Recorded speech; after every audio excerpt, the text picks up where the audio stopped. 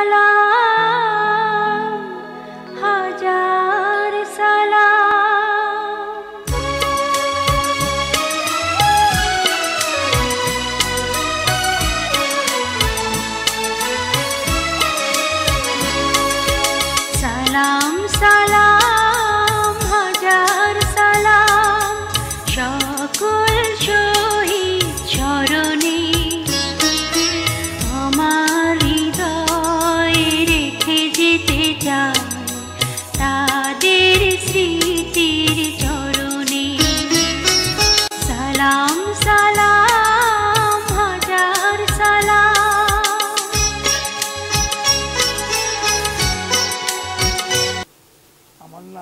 মোহাম্মদ আবুল হুসাইন। আমার পিতার নাম শেখ কসিমুদ্দিন, মাতার নাম শেখ আশরফের আশালিকার নেশা আমি জয়দেবপুর লালিবুল হাই স্কুল থেকে লেখাপড়া করছি। উনিশশো একষট্টি সালে মেট্রিক পাশ করি। পরবর্তী পর্যায়ে চাকরি নিয়ে নেই। চাকরি থেকে কর্টে কলেজে থেকে পরীক্ষা দিয়ে এমবিএ পাশ করি। ওয়াল কলেজে বিএ লেখাপড়া করছি এখানে। আমি মেশিনস ফ্যাক্টরিতে চাকরি করতাম যুদ্ধের সময়। এর আগে আমি ছিলাম সিএনবিতে এবং ওয়াবদাতে ওইখান থেকে আমি বাড়ির কাছে যেহেতু মেশিনস ফ্যাক্টরি এশিয়ার মধ্যে বৃহত্তম ফ্যাক্টরি এইখানে আমি চলে আসি। এইখানে আসার পর আমি একজন ডাইরেক্টরের পিএ হিসেবে কাজ করি। সেখানে কাজ করার পরবর্তীতে আমাদের এখানে এম এ মোতালিব সাহেব আমার সামনে একদিন আসেন নাস্তা করার সময়। বলল কি যে এখানে তো শ্রমিক সংগঠন নাই। চলেন, একটা শ্রমিক সংগঠন করি। তখন শ্রমিক সংগঠন করলাম।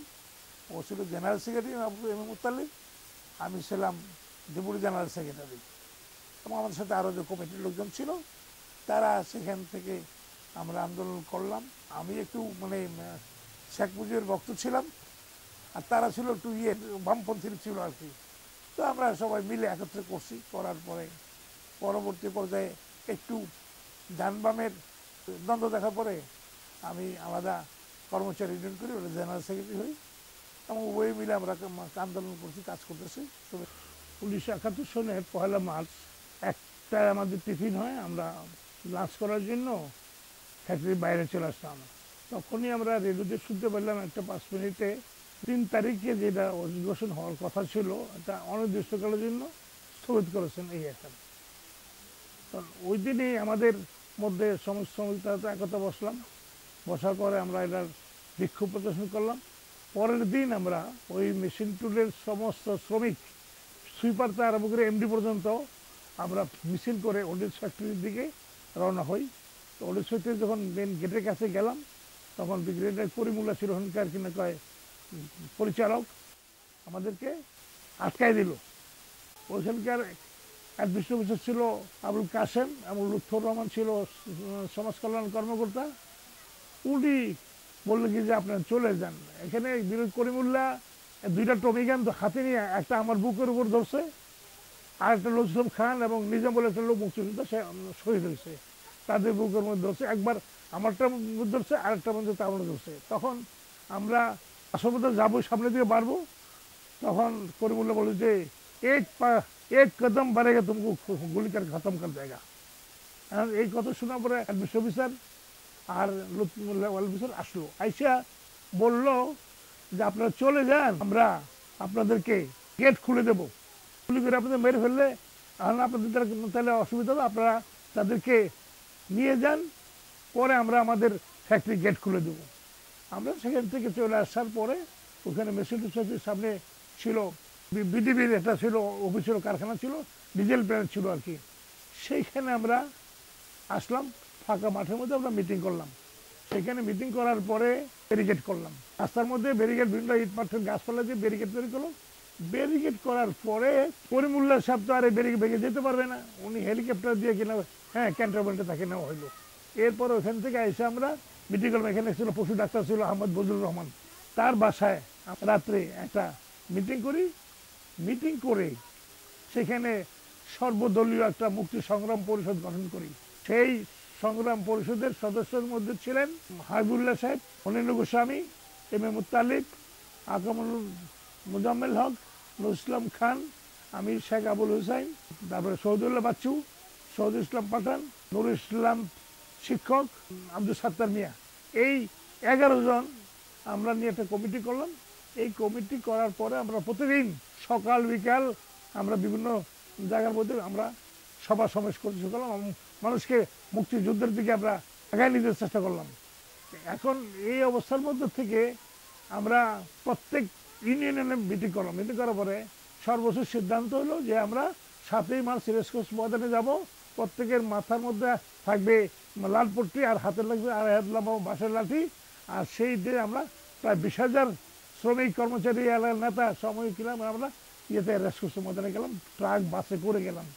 তো সেখানে যাওয়ার পরে ওইখানে যারা উপস্থিত ছিল, সমস্ত লোকজন, শ্রমিক জনতা যারা ছিল, তাদের আমাদেরকে ক্লেবস দিয়ে দিয়ে আমাদেরকে কিনে করে সেখানে হ্যাঁ রাস্তা ছেড়ে দিতে আমরা কাছে গেছি। যাওয়ার পরে সেখানে বঙ্গবন্ধু যখন আসলো সে সরাসরি মঞ্চে গেল এবং মঞ্চে গিয়ে সরাসরি সে বক্তৃতা শুরু করল। উনি এক পর্যায়ে বললেন যে, যার দায়িত্ব আছে, তাই নিয়ে শত্রু মোকাবিলা করতে হবে। আর এক জায়গার জিনিস আরেক জায়গায় কোনো সরানো যাবে না। এক জায়গার মালামাল আরেক জায়গায় সরানো যাবে না। এই কথা বলার পরে ওরা এখানে এখানে আমাদের এখানে খবর হলো যে আমাদের বাঙালি যারা আর্মি আছে, তাদেরকে তারা কি করবে? নিরস্ত্র করবে। এটা চিঠি পাড়ায় দিল, তারা দিকে হ্যাঁ সতেরোই মার্চ মধ্যে জমা দিতে হবে। সতেরো মার্চ কেন দেয় নাই? তারপর হলো আঠারোই মার্চ আসলো। আঠারোই মার্চে ঠিক উনিশে মার্চ যেরকম, আমরা এখানে বেরিয়েট করছি, যেরকম আন্দোলন করছি, মিটিং মিছিল করছি, ঠিক আঠারোই মাসে ওই একই ধরনের হয়েছে, শুধু ওই দিন গুলিগুলা হয় নাই গোলা গোলা হয় নাই। আর উনিশে মার্চ আমরা ওই একটা মেইন গেট রাজবাড়িতে ঢোকার জন্য যে রেল গেটটা যে আছে, ওই গেটের মধ্যে মালগাড়ি টাই নাই না, রাস্তা দিয়ে বন্ধ করে দিয়েছি। বন্ধ করে দেওয়ার আগের দিনও বন্ধ করছি আঠারো তারিখে উনিশ তারিখে বন্ধ করছি। বন্ধ করার পরে ওদের থেকে উনিশ তারিখে ইয়ে একটা মেসেজ পাঠাইলো যেটা আমরা ইয়ে ওদের কমান্ডিং অফিসার সে অফিসার বলল যে আমি ক্যান্টনমেন্টে যাব ওল্ড ফ্যাক্টরি যাব। আসলে উদ্দেশ্য হলো যে এখানে এসে সে নিরস্ত করবে তাদেরকে। কিন্তু আমাদের সেই দিনের কথা ছিল, যদি তারা এখানে আমাদের ডিস্টার্ব করে, তাহলে মেশিন ফ্যাক্টরিতে সাইরেন বাজাই দেবো, সমস্ত শ্রমিক কর্মচারীরা তারা এখানে আইসা এখানে জমায়েত হবে। আমাদের এখানে যদুপুর বাজারে, রেলগেটের পশ্চিমপুর বটতলা ছিল, বটগাছ ছিল ওইখানে আমরা জমাতে হইলাম এবং নেতারা প্রত্যেকেই মানে জ্বালাময়ী বক্তৃতা শুরু করছে। আর উত্তেজিত ওখানে যে গোলাগুলি করলে যে আমরা যে মারা যাব গৃহস্থ অবস্থায়, এটা আমাদের কোনো চিন্তা ভাবনা ছিল না। কিন্তু যখন দেখল যে অবস্থা ইয়ে আর অস্ত্র তো নিতে পারবেই না। সেনাবাহিনীরও তারাও ওখানে যে দুশোর বাঙালি, তারাও শক্ত, দৃঢ় ছিল। আর নিতে না পারার কারণে ডিপ্লয় করল ধারের যে আর্মি প্রথম দিল বাঙালি আর্মি আমাদের গুলি করার জন্য। আর তারা যদি গুলি না করে, তাহলে পরবর্তী স্টেজে দাঁড়া করাইলো ইয়ের পাকিস্তানি আর্মিদেরকে। যে পাকিস্তানি আর্মিরা ওদের উপর গুলি করবে যদি আমাদের গুলি না করায়। তো এরা ইয়ে ছিল মেজর মইন ছিল একজন মেজর। উনি আমাদের পক্ষে ছিলেন। হ্যাঁ ওই দিন উনি কী করলেন? আমাদের চেষ্টা করলেন সরের জন্য। আমরা অটল ছিলাম, আমরা সরবো না, আমরা তাদেরকে অস্ত্র দেবই না। তখন ব্রিগেডিয়ার করিমুল্লাহ মেজর মঈনকে বলল, মঈন কি করতেছ? গুলি করো। আমি পার বুলেটে একটা করে লাশ দেখতে চাই। তারপরে তার আমি কি করব? তখন ওই ফাঁকা গুলি করে। ফাঁকা আমি গুলি চাই না, আমি লাশ দেখতে চাই। তখন ওই গুলি করার প্রেক্ষিতে একটু এদিক সেদিক মাছের মধ্যে গুলি না করে একটু ডাইন পাম্পে গুলি করছে আর কি। এতে দুজন লোক ছিল, একজন ছিল দর্জি ইয়েতে কাজ করতেছিল। ওর গায়ে গুলি লাগছে। আরটা ছিল ওই নিয়ামত বলে একটা লোক ছিল, তার গায়ে গুলি লাগছে। আর সন্তোষ তারপরে ইউসুফ, এদের গায়ে গুলি লাগছে, রাত আহত হয়। তারপরে আরও কয়েকজন আছে, এরকম আহত হয়েছে। ওইখানে গুলিগালাজ করার পরে তারা কারফিউ জারি করল, বাহাত্তর ঘণ্টার জন্য। এই কারফিউ জারি কইরা তারপর তারা কি করল? ওই যে যারা যারা আটকা পড়ছিল, তাদেরকে মারধর করল নানান কিছু কইরা, কিছু করে তারপর কিছু ছাড়লো, কিছু আটকালো খুব অত্যাচার, যা বলে আর সব করছে আর কি। সেখান থেকে আমাদের যে মুক্তি সংগ্রাম পরিষদ নেতারা ছিল, খুব জোরালো বক্তৃতা দিয়ে কিন্তু সামনের দিকে আসতেছিল। In the mean time ration দিয়ে এখানে একটা জিপ আসতেছিল, পাঁচজন সেনাবাহিনীর সদস্য ছিল। ওদেরকে আটকে দেওয়া হলো এবং জৈনিক সিরাজ বলে একটা লোক ছিল, সে তাদের জিপটার মধ্যে ছুরি দিয়া জিপটা চাকা করে দিল আর দিতে পারল না, আটকায় দিল। তখন বলছে কি যে, তোমাদের অস্ত্র দাও তোমরা তো চালাই যাব না, আমি চালাই। তখন বলছে কি আমরা তো আর্মির ড্রেসে তো আর্মির বিরুদ্ধে করতে পারি না তোমরা কার আমাদেরকে লুঙ্গি দাও কাপড় বদলাই দাও। আর লুঙ্গি টুঙ্গি দিছে গেঞ্জি পইরা শার্ট পইরা পরে পাকিস্তানি ওদের উপর রাজবাড়ির দিকে গুলি করেছে ওই বিয়ের উম, সোনার ব্যাংকের ছাদের থেকে মসজিদের ছাদের থেকে তারা ওইখানে এরকম গুলি গালাজ করে। গুলি গালাজ করার পরে এইখান থেকেও গুলি হয় আমাদের তরফ গুলি হয় এবং সেখানে যেমন ঝড় হলে যেরকম পাতা ছিটে যায় না এরকম ঝড়ের ব্যাগে যেমন এরকম গুলি করা হচ্ছে ছিটরে গুলির পর গুলি, গুলির পর কি মানুষ মানে আতঙ্ক সৃষ্টি হয়ে গেছে আর কি। এখন সেই দিনের যে ঘটনা, সেই দিন তারা বাহাত্তর ঘণ্টা কাকু জারে করে এখান থেকে অস্ত্র ছাড়াই তারা চলে যায় চৌরাস্তা চৌরাস্তা গিয়ে সেখানে ব্যারিকেডের সম্মুখীন করে। সেখানে ইয়েতে উর্মদ বলে একটা ছেলে খেলোয়াড় ছিল, সাহসী ছিল আর কানু তার বন্ধু ছিল। একজনে করল কি পাকটা পাঞ্জাবের গাছটা ধরে ফেলল, ধরার পরে কিনা কয় সে ছাড়ে না, পরে হাতে মধ্যে আরেকটা বন্ধু ছিল, সে বাড়ি মারলো। বাড়ি ঘরের অস্ত্র পড়ে গেল। তো হুরমত ওই অস্ত্রটা নিয়ে চেষ্টা করল দৌড়ে যাওয়ার জন্য আর গুলি করতে। ও তো জানে না, ট্রেনিং ছিল না, এই জন্য সে গুলিও করতে পারে নাই। তারপরে ওখানে একটা ই আছে, ওই যে মূর্তি আছে, মুক্তিযোদ্ধার ভাস্কর্য আছে।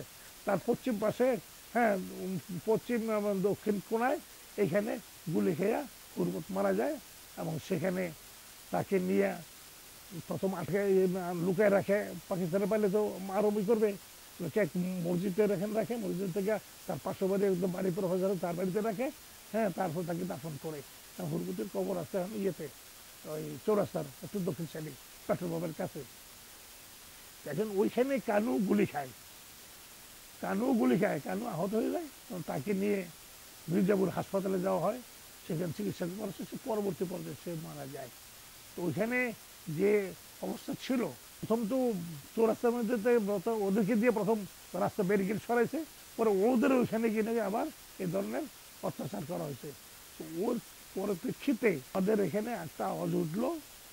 চৌদ্দপুর পথ ধরো, বাংলাদেশ স্বাধীন করো। বীর বাঙালি অস্ত্র ধরো, বাংলাদেশ স্বাধীন করো। এই যে আওয়াজটা, এই আওয়াজটা সারা বাংলাদেশে যেমন দাবানলের মতো ছড়িয়ে পড়ছে। এবং সেখানে সারা বাংলাদেশের মানুষ ওই যুদ্ধের জন্য প্রস্তুতি গ্রহণ করছে। তারপর তো স্বাধীনতা ঘোষণাটা আসলে তো সবাই জানে যে অবস্থার মধ্যে আছে। তখন সেই প্রেক্ষিতে আমরা এখান থেকে যারা সংগ্রাম পরিষদের ছিল বা অন্যান্য যারা ছিল পরিষদের আমাদের সাথে অনেক লোকই সহায়তা করছে। তারা যারা আছে, এখানে যদিও কমিটিতে নাই, হাসান হোসেন, কাজী মজুমে লালা ছিল, বুদ্দিন ছিল, তারপর হাতেম ছিল যে পাঠাইছে ওকে, হাতেম ছিল, তারপর আর অনেক লোকই ছিল আর কি। তো যারা যারা ছিল তারা অনেকেই ইন্ডিয়া থেকে যায় উনিশশো ভারতে প্রশিক্ষণ নেয় প্রশিক্ষণ নিয়ে পরে ওইখান থেকে আসে।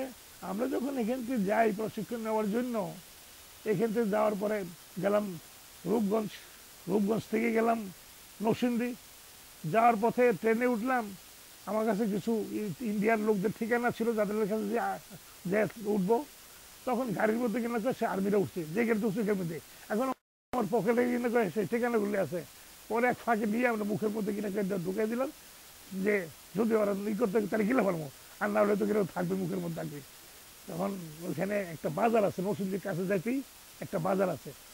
ওই বাজার সকালবেলা বসে। আর্মিরা ওই গাড়িতে দেখছে যে ওইখানে আছে, বাজার বসছে।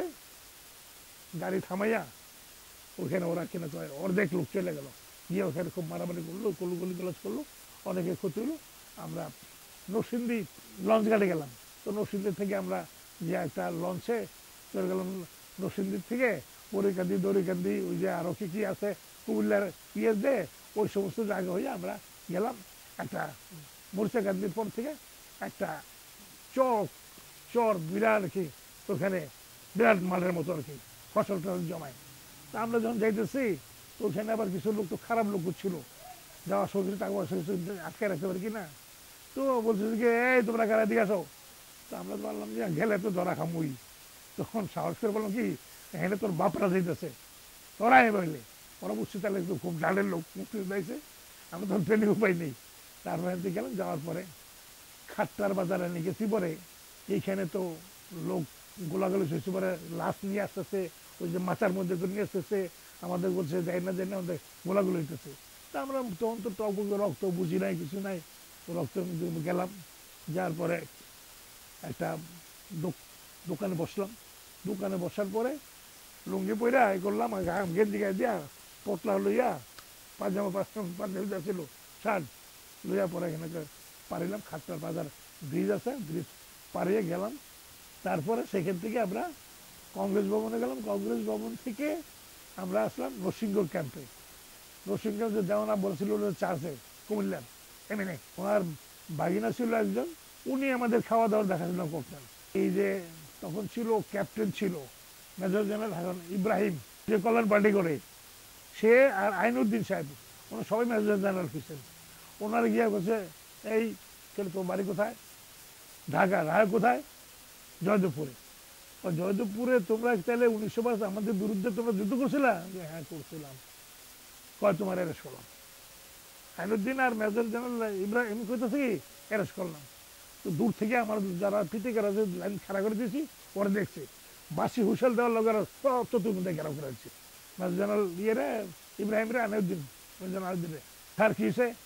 তো উনি, ওই উনিশ তারিখে আমাদের বিরুদ্ধে যুদ্ধ করছিল তো, আমরা তার মোকাবেলা করছিলাম, এই জন্য আমার গ্রেফতার করতে এসেছে। তখন কি সে আমাদের গ্রেপ্তার করব না আমি তাদেরকে গ্রেপ্তার করব? হুকুম দেন আমি গ্রেপ্তার করি অনেক পরে ইব্রাহিম আচ্ছা কাপড় দিয়া সবাস আমরা এরকম লোক চাই। বাছাই করতে এসেছি এগুলি একটু বাছাই করতে এসেছি। আমাদেরকে মুক্তিযোদ্ধা হিসেবে বাছাই করার জন্য ওই যে ট্রেনিং আর কি আমাদেরকে এক্সপ্লোসিভ ট্রেনিং এবং অন্যান্য কমান্ডো ট্রেনিং দেওয়ার জন্য আমাকে দিয়ে গেলো। আমি ছিলাম সেখানে ওই যে মালিকনগর নাম হয়েছে না? আর নাসিরুদ্দিন ইসু বাচ্চু, কোচি, বেঙ্গল, তারপরে এই যে রাইসুল আসাদ, এই যে সিনেমা করে এগুলা তারপর ইয়া জাফর, অভিনেতা জাফর ইকবালও ছিল। সে আমাদের কাছে বিদায় নিয়ে চলে গেলো, পাকিস্তান তার বোন, ওই যে মারা গেল যে কয়দিন আগে, শাহানাজ রহমতুল্লাহ। ওই যে বোনটা হয়ে আছে বোনটা হাঁটতে চাই আমরা আমার বিদায় দিতাম। তো গেল, আমরা গেলাম, ট্রেনে ট্রেনে নিলাম। ট্রেনিং নেওয়ার পরে আমরা আসলাম।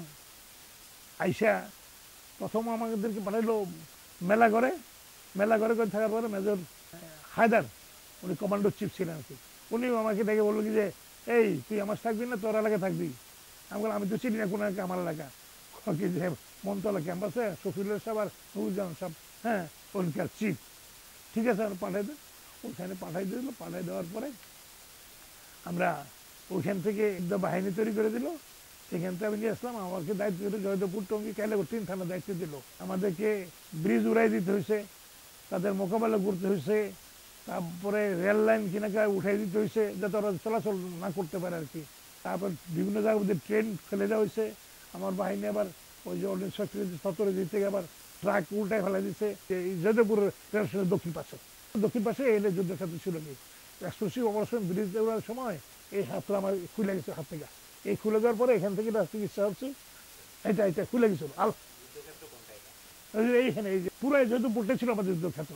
আমার বাহিনী ওদিকে চতর দিকে ছিল, ওদিকে দিরাসন ছিল, ওদিকে পুপাইল ছিল।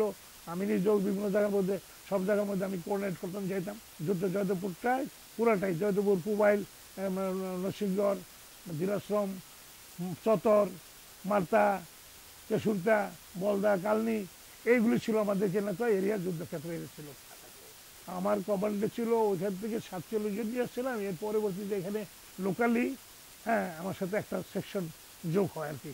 লোকালি যারা যুদ্ধ করতো, তারা দেখে আমার বলে দিয়েছিল, তাদেরকে তুমি তোমার সাথে নিয়ে নাও। হ্যাঁ তারা যুদ্ধ করছে। তারপরে একটা যুদ্ধ হলো তেরো তারিখে ডিসেম্বরের বংফিরা বলে একটা জায়গা আছে, ওইখানে একটা ট্রেন ফেলে দেওয়া হয়েছে। ট্রেন ফেলে দেওয়ার পর ওখান থেকে আমরা লক্ষ লক্ষ এমুলেশন কালেক্ট করি। তারপর আমি এটা আনার জন্য তখন আমাকে তারা দশ হাজার টাকা স্যাংশন করল একটা কমিটি করে দিল ওই অস্ত্রগুলি রাজবাড়ি ক্যান্টনমেন্টে জমা দেওয়ার জন্য। অস্ত্রগুলো আমরা জমা দিলাম। আমরা যত পাঞ্জাবি জীবিত ধরছিলাম দৈরাজলাকে নিয়ে সতেরো তারিখে যাদবপুর থানায় এসে তাদেরকে জমা দিয়ে দিই। আমি চাই আমরা যারা যুদ্ধ করছি, যুদ্ধে আহত হয়েছি, আমি যুদ্ধের কাহিনী যে অনেক, কিন্তু যুদ্ধদের যে মূল্যায়ন যেটা হওয়া, যেভাবে হওয়া উচিত, পতাকা বদলাই তো কিন্তু স্বাধীনতা হয় না। বিশ্বের বিস্ময়। বাংলাদেশ নয় মাসে যুদ্ধ করে একটা দেশ স্বাধীন করছে, অন্য কোথাও পৃথিবীতে এরকম নাই। এটা কেমন হয়েছে তাদের মধ্যে একটা ছিল, ত্যাগ ছিল। একটা দেশ প্রতি একটা প্রেম ছিল, দেশের দেশাত্মবোধক চিন্তা ভাবনা ছিল, সেই জন্যই যুদ্ধ করতে পারছে। নাহলে তো এটা পারতো না। তাদের যে চিন্তা ভাবনা ছিল, এই দেশপ্রেমটা তাদেরকে উদ্বুদ্ধ করছে। এদের মূল্যায়ন হওয়া উচিত। আর যদি এটা আমার পক্ষে বলা ঠিক না তারপর আমি বলব যে একাত্তরে মুক্তিযোদ্ধা আর হওয়া যাবে না। বহু রাষ্ট্রপতি, বহু সেনাপতি, বহু প্রধানপতি, বহু প্রধান বিচারপতি সব হওয়া যাবে। কিন্তু একাত্তরের মুক্তিযুদ্ধ আর হওয়া যাবে না। আমি যুদ্ধে যাওয়ার আগে আমি চাকরি করতাম মেশিন চাকরিতে। চাকরি ফেলে দিয়ে আমি মাত্র বিয়ে করছি, কাবিন করছি, বউ উঠে আনি নাই। সেই বউকে ফেলে রেখে হ্যাঁ আমি যুদ্ধে চলে যাই, দেশের স্বার্থে এবং জনগণের স্বার্থে। যুদ্ধের সময় তরুণ যুবকরাই যুদ্ধে গেছে। তাদের কোনো ভয়ভীতি ছিল না। তারা মরবে কি বাঁচবে তার চিন্তা ভাবনা ছিল না। যারা যেই তরুণরা যুদ্ধ করে দেশ স্বাধীন করতে পারছে, ওই তরুণদেরকে স্বাধীন যুদ্ধের পরে কোনো কাজে লাগানো হয় নাই। কাজে লাগানো হতো। এই তারাই যেমন তরুণরা যেরকম রুদ্র, ভয়ঙ্কর, তেমনি কল্যাণকরও বটে। তো এই কল্যাণ করার জন্য তাদেরকে সম্পৃক্ত করা হলে তারা হয়তো যেমন বিভিন্ন অফিস আদালত আছে, সেখানে মুক্তিযোদ্ধাদেরকে যদি কিনা কয়, তারা কাজে লাগায়। বিভিন্ন কমিটি আছে। কমিটি কমিটিতে মুক্তিযোদ্ধাদের কিনে কাজে লাগায়, তাদের যে ব্রেন চিন্তা চেতনা দেশপ্রেম ওটি দিয়ে তারা কিনে যাতে কিনে আগে দিতে পারে। তো তরুণ যুবক যুবক যারা আছে, তাদেরকে বাদ দিয়া কোনোদিনই দেশে উন্নতি হবে না। অবশ্যই তরুণদের, যুবকদের তাদের কাজে লাগাতে হবে। তাদের জন্য একটা পরিকল্পনা করতে হবে।